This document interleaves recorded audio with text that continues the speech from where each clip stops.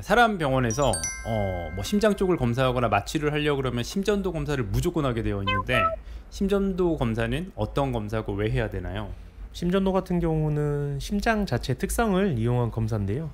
심장이 뛰게 될 때는 정기적인 파형을 자극이 되면서 심장이 두근두근하게 뛰게 됩니다. 그 원리를 통해서 심장의 파형을 기계적으로 찍게 되는 건데요.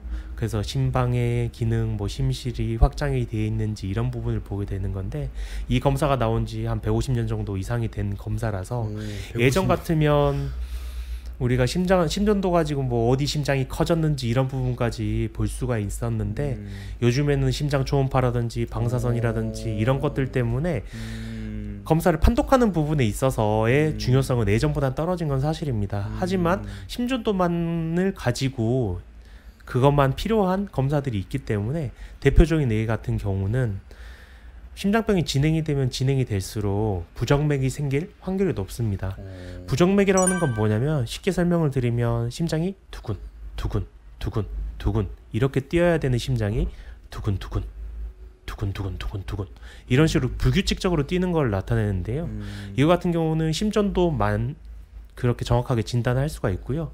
그렇기 때문에 심장 검사를 하는 데 있어서 이 친구가 부정맥이 있는지 없는지에 대한 부분을 체크하는 게 가장 큰 목적이라고 보시면 될 것 같습니다. 그게 부정맥이 심해져서 뭐 실신을 하거나 이럴 경우에 보호자님들 같은 경우에 뭐 심전도를 가지고 집에 가 사람도 그렇잖아요. 심전도를 가지고 하루 동안 생활하고 하루 동안에 이런 거를 기록했다가 뭐 나중에 제출하고 이런 게 있는데 강아지들도 뭐 그런 심전도 검사도 하나요?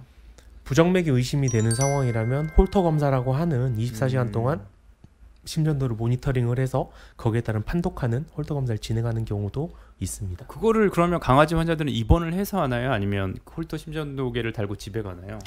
기계에 따라 다를 수 있는데요. 음. 예전 같으면 당연히 병원에 입원을 해가지고 24시간 관찰을 했다면 요즘에는 뭐 집에서 그 기계만 달고 음. 가서 그냥 집에서 그 칩만 음. 의뢰를 하거나 판독을 하게 되는 경우도 있어서 음. 그거는 상황에 따라 기계에 따라 달라질 수 있을 것 같습니다. 아, 그래서 심장 항상 재진을 오거나 시- 특히 심장 초진으로 오셨을 때 심전도 검사를 하는 이유는 이 아이가 심장병 진행 정도에 따라서 실제로 부정맥이 있는지 없는지 그런 걸 살펴보기 위함이군요. 네 맞습니다. 네, 감사합니다.